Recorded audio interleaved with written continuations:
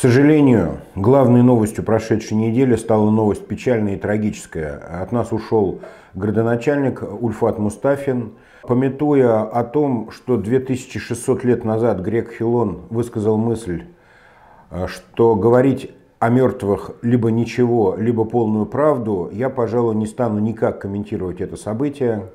К сожалению, поговорка эта видоизменилась за многие века и превратилась в нечто совсем неудобоваримое по поводу ничего или хорошее. Нам еще предстоит осознать и обсудить э, то, какой вклад внес или не внес в развитие Уфы Ульфат Мустафин. Однако сейчас точно говорить не о чем. Те, кто были знакомы, э, должны предаваться скорби и печали. Те, кто не знали лично Ульфата Мансуровича, могут порассуждать о том, кто придет на смену Мустафину в мэрию города Уфы, однако судачить о смерти Мустафина и особенно о обстоятельствах смерти э, градоначальника я точно не буду.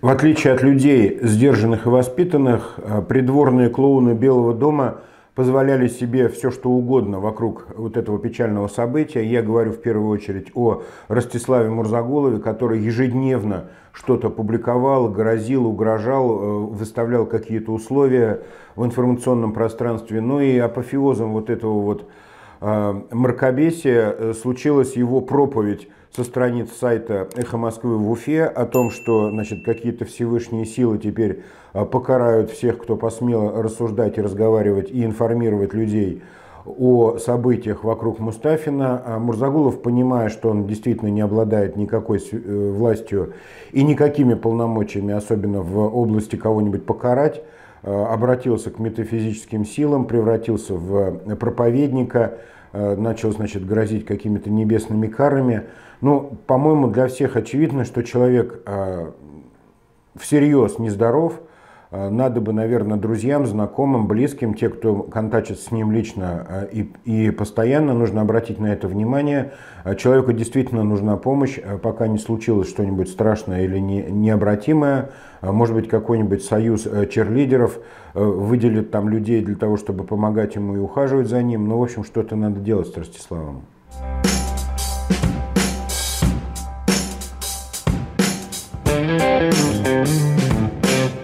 Времена нынче стремительные, и вот уже буквально э, вчера заговорили и рассуждали о том, кто же придет на смену э, покойного Ульфата Мустафина в мэрию Уфы. Э, были выдвинуты совершенно фантастические предположения, некоторые из которых я склонен расценивать как дымовую завесу. В частности, вот все разговоры о том, что на место градоначальника Уфы может прийти там, господин Авзалов, мэр Сибая, господин Мавлиев, Э, мэр Нефтекамска, или господин Иванюта, э, мэр Белорецка, все вот эти разговоры я все-таки считаю дымовой завесой и отвлечением, на самом деле, внимания от реального выбора, кто же может прийти на место градоначальника. Всерьез обсуждается фигура Рената Баширова. И все бы хорошо, и действительно по масштабу нынешней позиции э, Рената в Белом доме занять место мэра Уфы Ренату, в принципе, вполне было бы возможно, если бы не одно «но». Ренат напрочь и категорически испортил отношения с Федеральной службой безопасности. А, было два серьезных инцидента, связанные с ним и с работой этого ведомства. Генерал Серышев в запале а, даже пообещал, что он добьется того, что Ренат не будет занимать а, должностей на госслужбе. В общем, вот это может послужить очень серьезным препятствием для занятия этой позиции со стороны господина Баширова.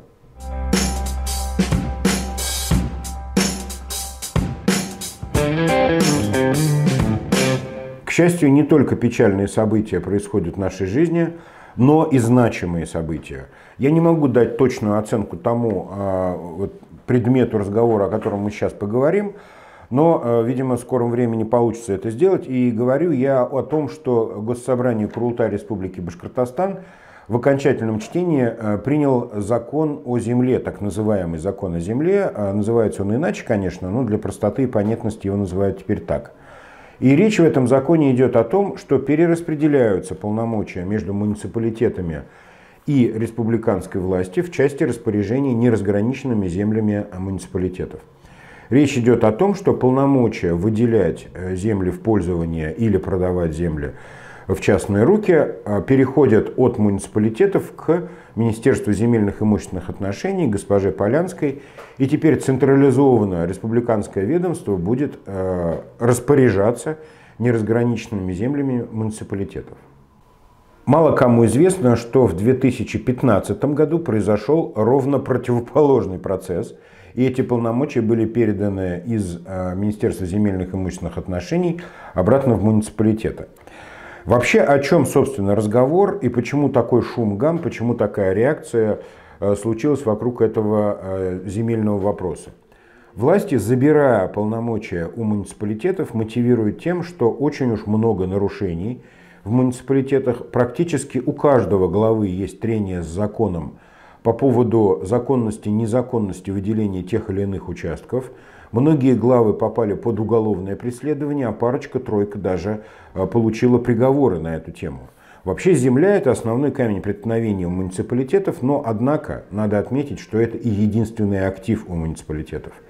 У муниципалитетов практически нет налогооблагаемой базы, то есть источника финансирования. Бюджеты многих районов э, и маленьких городов и сельских поселений просто ничтожны. И земля является, и вернее уже являлась единственным активом, которым можно было хоть как-то прокормиться. Теперь этот актив уходит к республиканской власти.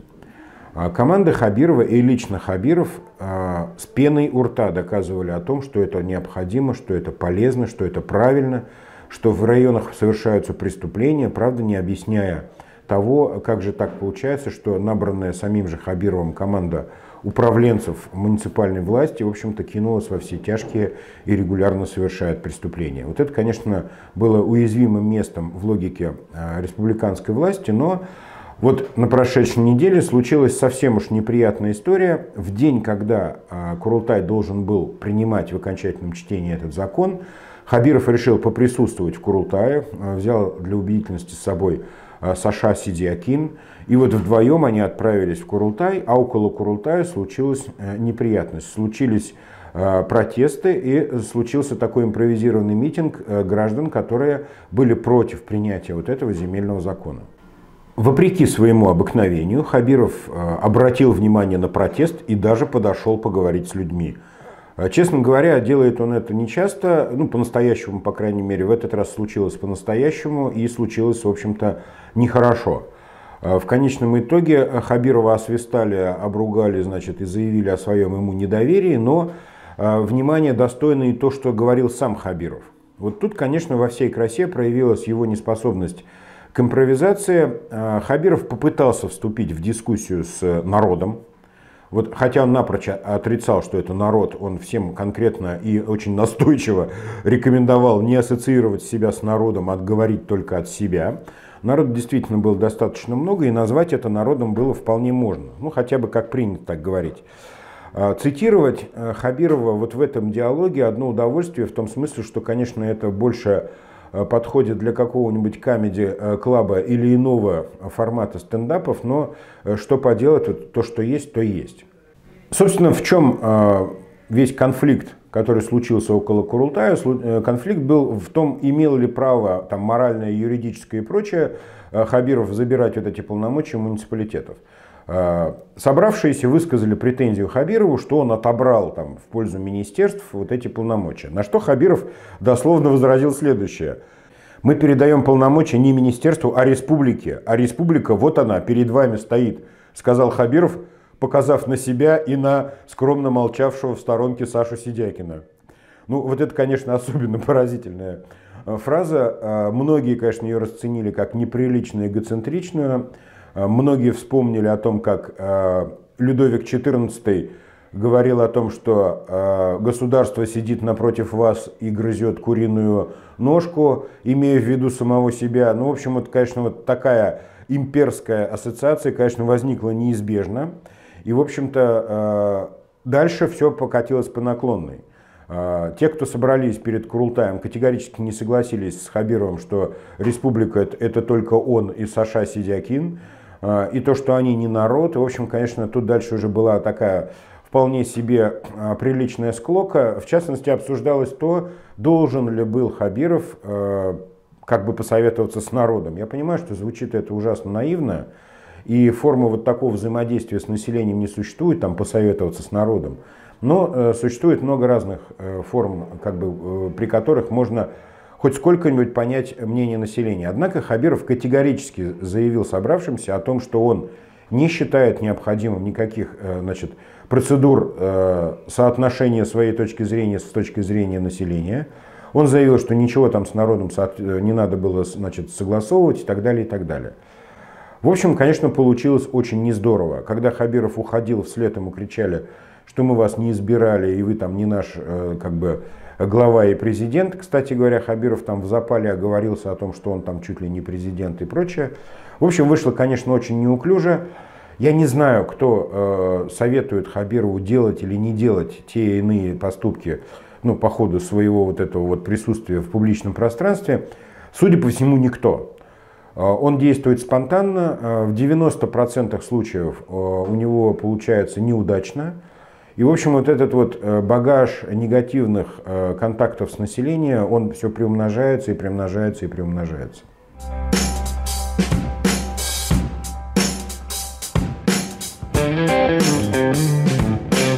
Хвастаться не очень хорошо, но я все-таки сегодня попробую. Дело в том, что на прошедшей неделе э, наш канал прошел определенный рубеж по количеству э, подписчиков, и мы превратились в самый крупный э, общественно-политический YouTube канал республики по количеству подписчиков и количеству просмотров. И это очень радует, но за это все я, конечно, должен благодарить не только себя и свою команду, но и вас, наших зрителей, которые а, очень хорошо и очень эффективно продвигают наш канал внутри YouTube и вообще в интернете. Я все время напоминаю о том, что нужно ставить лайки. Это бесплатно и почти абсолютно не занимает никакого времени. А, я благодарен тем, кто помогает каналу материально. Я благодарен тем, кто репостит наши выпуски на любых платформах, это ВКонтакте, в Фейсбуке и так далее. В общем, э, продолжаем расти, продолжаем вас радовать. Э, спасибо вам за поддержку. Продолжаем в том же ключе.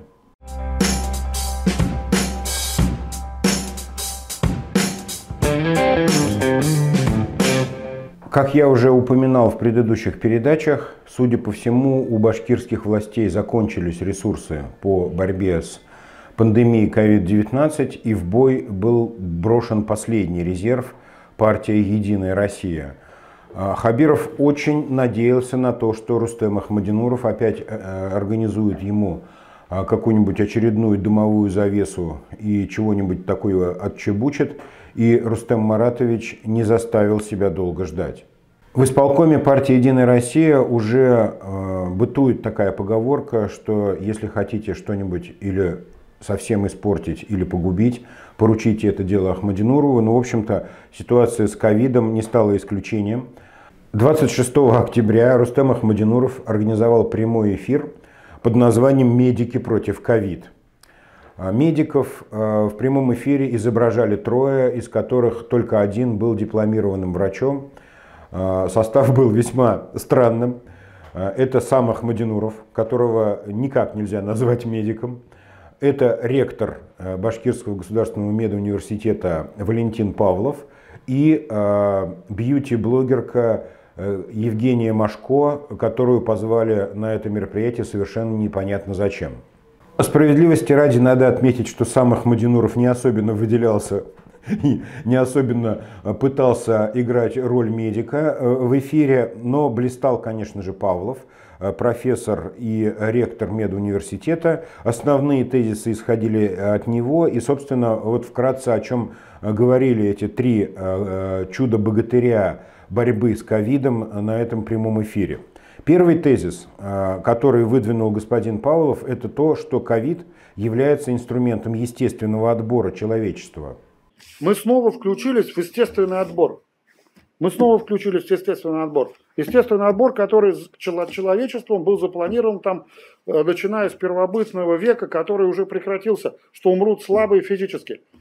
То есть, переводя на русский язык, э, слабые должны умереть, выживут сильнейшие, и, собственно, с этим ничего, видимо, делать не нужно. А также господин Павлов заявил, что а, чтобы выжить и не умереть от COVID-19, надо перестать болеть всякими хроническими заболеваниями, например, диабетом. Вы не будьте толстыми, вы не будьте алкоголиками, вы не будьте диабетиками. А Павлов, по сути, предъявил претензию населению в том, что вот это вот несносное население по собственной вине болеет э, диабетом. Медики, врачи, люди, понимающие, о чем идет речь, э, возмутились до глубины души, зная, что диабет – это хроническое заболевание, что, в общем-то, э, в подавляющем большинстве случаев диабет не вызван нарушением режима питания, а является либо наследственным, либо эндокринным заболеванием и очень тяжелым заболеванием, и обвинять людей в том, что они болеют этой болезнью, конечно, абсолютно безнравственно, и на мой взгляд, и на взгляд медиков. Также э, госпожа Машко вместе с господином Павловым опровергли все значит, э, рассуждения о том, что в аптеках и э, в продаже недостаточно лекарств, а Евгения Машко даже поделилась своим ярким опытом поиска лекарств в интернете. Есть справочный аптек, и если искать по справке, то реально сегодня найти можно любой есть, препарат. Любой препарат. У меня есть. знакомые находили и Клексан, и Ксарелту, и Цефтриаксон, и что, все что угодно. Это первое, поэтому нужно просто ну, здесь пользоваться интернетом. Суть по всему, ее приводит в восторг вот этот вот механизм, что в интернете что-то можно найти. Она очень а, задорно об этом рассказывала. Все присутствующие в один голос э, хвалили и расхваливали систему здравоохранения Российской Федерации. А, один из них договорился даже до того, что в России самая великая система здравоохранения, потому что не надо платить страховку в 200 евро, как в Германии. Вот а, такое мнение высказал господин Павлов.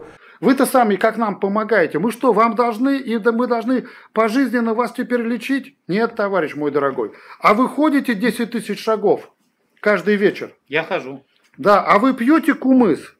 А вы ведете здоровый образ жизни, понимаете? Стараюсь. Понимаете, мы не излечим товарищей всех. И вот те страны, в которые не социально и не декларируют, они же не говорят, ну хотите, ну есть у вас деньги, ну будем вас лечить, 300, 300 долларов в день стоит госпитализация на реабилитационную койку в Германии.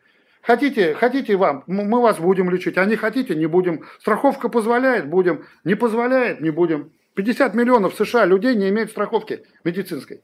56. Также они говорили о том, что вы подумайте, а в Америке вообще нужно 700 долларов платить ежемесячно и так далее, и так далее.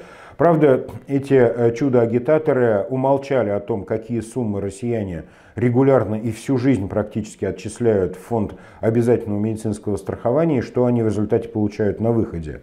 Ни слова выступающие не говорили о недостатке скорых помощи, о том, что теперь скорая помощь может и целые сутки ехать к человеку, э, ну, в общем-то, не являясь и перестав быть по-настоящему скорой. Об этом они стыдливо умолчали. А также господин Павлов заявил, что несмотря на то, что э, происходит некая борьба с пандемией, до конца года э, все должны переболеть COVID-19. Вот этот тезис тоже очень э, спорный на самом деле. Ну и совершенно уже дойдя до абсолютного абсурда, Валентин Николаевич заявил о том, что задача врачей, цитирую дословно, стремиться к тому, чтобы как можно больше людей перенесли болезнь бессимптомно. Вот тут даже у меня, человека, имеющего довольно скромные медицинские познания, есть вопросы к профессору медицины э, господину Павлову. Это каким же образом врачи должны стремиться к тому, чтобы люди переболели бессимптомно? Какие э, действия и усилия должны э, предпринимать врачи для того, чтобы это случилось? Совершенно непонятно. Ну, очень много на этом прямом эфире ругали Запад, Э, говорили о том, что на Западе вообще власти отмороженные, что они штрафуют людей там, за неношение масок, а у нас только всего лишь уговаривают. А также господин Павлов заявил, э, в общем-то, о том, что э, долечивать последствия ковида медицина в России вовсе не обязана и не будет этого делать. И долечивание и прочие вот эти вот процедуры реабилитации, это вообще все на совести граждан. Вообще вся вот эта вот история с этим прямым э, эфиром, который, к счастью, посмотрело совсем ничтожное количество людей, за неделю порядка 700 человек только удосужились э, вот на это все безобразие взглянуть. Вообще этот эфир стал яркой иллюстрацией той меры лицемерия, которая царит в башкирской власти. Сам господин Павлов, между прочим, не так давно переболевший COVID-19, не рискнул лечиться в, общем, в общих медицинских учреждениях общедоступных и даже не лечился в собственном ковидном госпитале, который был организован на базе э, клиники БГМУ. Господин Павлов предпочел лечиться в РКБ номер два, не доверяя собственной системе, которую он создал по лечению COVID-19. Господин Ахмадинуров также благополучно переболел, получив лучшую в Башкирии медицинскую помощь на базе РКБ-2. И вот эти вот люди, я уж выношу за скобки э, Евгению Машко, мне ее просто жалко, что она попала вот в эту компанию, я не знаю, какие у нее там были мотивы. Ну ладно, она симпатичная, э, веселая барышня, рассказывающая нам про длинные каблуки. А вот эти вот два мужика, а, эти вот лицемеры, бессовестные э, очковтиратели, которые сами предпочли получить по только потому, что они занимают определенную позицию в обществе, получить лучшую медицинскую помощь, с пеной у рта доказывали нам целый час о том, что вообще во всех болезнях виноваты сами граждане, что рассчитывать на какую-то медицинскую помощь э, граждане не должны, и что это вообще даже очень без, безнравственно, что они, э, вот эти вот самые несносные граждане, получают лучшую медицинскую помощь, да еще и за 3 копейки, как вы, выразился господин Павлов. В общем, выглядела эта картинка ужасно. Возвращаясь к началу своего комментария, я еще раз отмечу. Рустем Ахмадинуров способен испортить любую задачу, способен э, провалить э, любой план. Вот э, Хабиров ему поручил в общественном пространстве немножко реабилитировать башкирскую медицину, которая, конечно, упала ниже плинтуса. Рустем Ахмадинуров сделал только хуже. Эти люди обратились к населению республики со следующим заявлением. Ковид убьет слабейших, выживут сильнейшие, и забота о выживании возлагается на самих граждан. Не надейтесь получить помощи от государства, выкручивайтесь сами. В больницах значит, мест нет, зато лекарства есть, ну как будто бы есть. Все, значит, сами купили, три копейки, значит, отдали государству, остальные деньги потратите на себя – значит, и лечитесь как хотите. И не смейте болеть, а если вы заболеете и умрете, то вы сами виноваты. Вот примерно то, о чем нам рассказали эти э, замечательные люди в своем прямом эфире.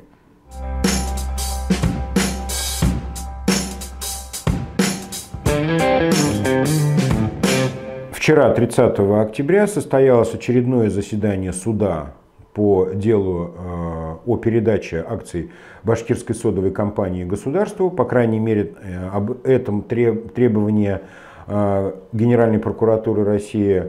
Собственно, заседание это было также безрезультатным, как и предыдущее. Никакого решения принято не было. Мотивировалось это тем, что Федеральная налоговая служба не сформулировала своей позиции, хотя и была привлечена одной стороной эм, процесса Господин э, Азат Рыбак Галин, э, печально известный юрист э, и рыбак в непонятном состоянии, сделал заявление о том, что он теперь представляет Министерство земельных и имущественных отношений. В прошлый раз он представлял Рекфонд. Видимо, этот человек просто на расхват. Такого хорошего рыбака трудно найти в нынче. Так вот, господин Галин заявил о том, что он меняет свою позицию представляем ЗИО, но меняет ее синхронно с Радием Фаритовичем, и речь идет о том, что теперь башкирские власти поддерживают тезис о необходимости передачи акций э, башкирской содовой компании не во владение республикой, а во владение Российской Федерации. Ну, собственно, об этом мы много говорили на предыдущей неделе, и больше ничего нового мы не услышали. Следующее заседание суда по вопросу акций БСК назначено на 6 ноября. Это довольно скоро, так что будем следить за событиями.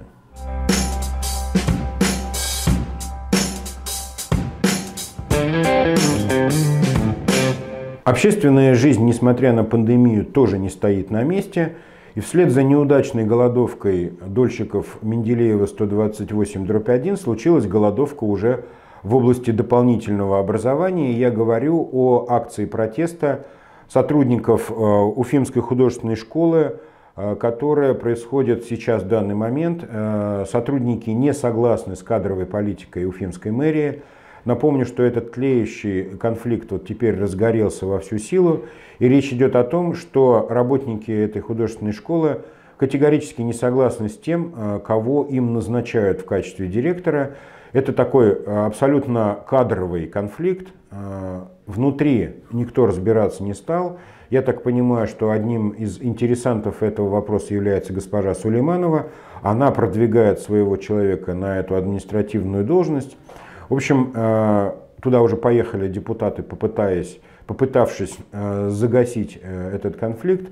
Не могу сказать, что это очень значимая история, но она очень характерна, если уж учителя художественных школ прибегают к подобным инструментам, то что же нас ждет дальше? Thank you